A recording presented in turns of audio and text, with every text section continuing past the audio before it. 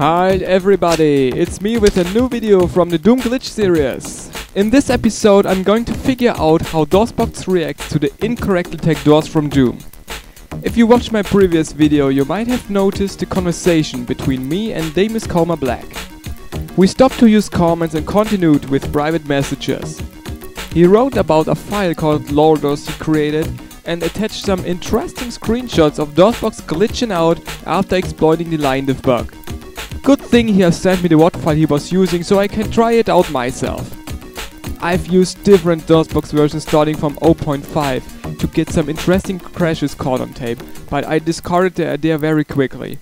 Simply because those goddamn versions were too stable to crash. okay, okay. One week later I came back and now watch what kept me busy for quite a time.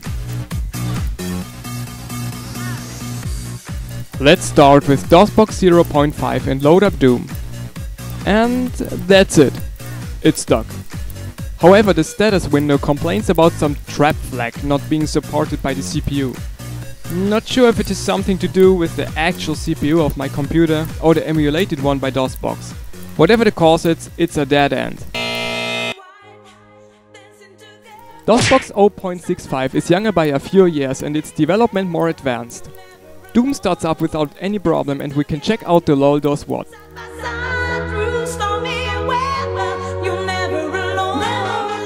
The attempt to activate a door leads to this infinite loop of errors. DOSBox is still working in the background, but so slow and it doesn't process user input anymore.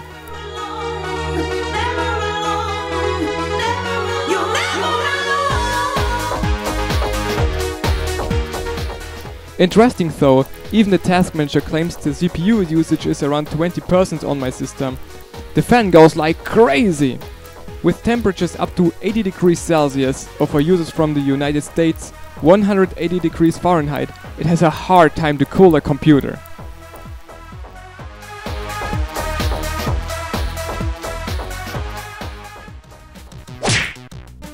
Is that really an infinite loop and does it go on forever? Everything has its limits, especially in the DOS era. Because I had some time to waste, I simply let it go on. Meanwhile, I did something in the house like cleaning the toilet,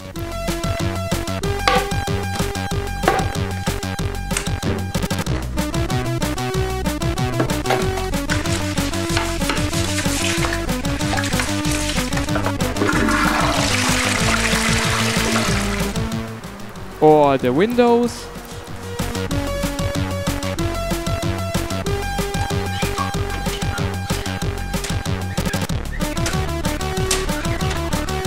Or doing the wash.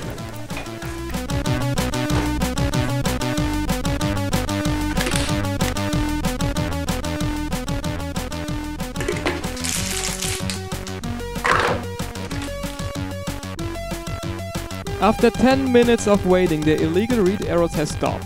And guess what? The game is just running fine! If we hit the door yet another time, it starts all over.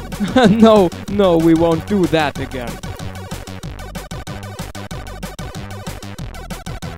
DOSBox 0.7 doesn't go very far.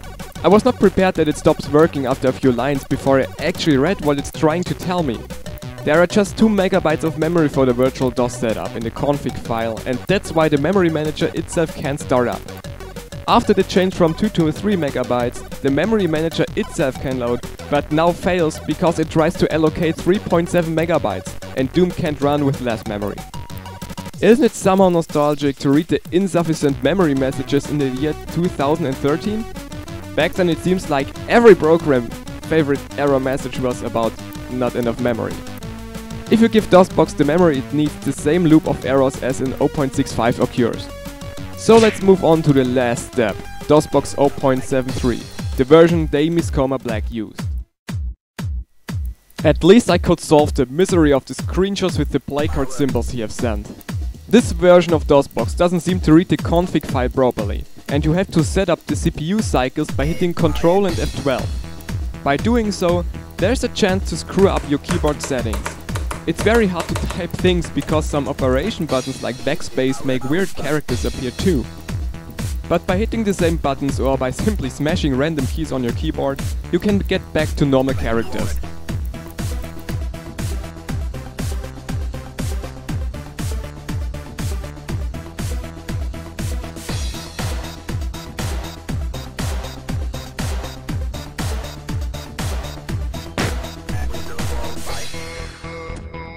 0.73 is not crashing or getting stuck at all. It only stops for a split second and is back to normal. Well, not totally normal. There's a notable problem with the pitch of the door sounds, and the music is glitching out for a brief moment sometimes. But that's it. And that's also with this episode of Doombugs Glitch and Crashes. Goodbye to everyone.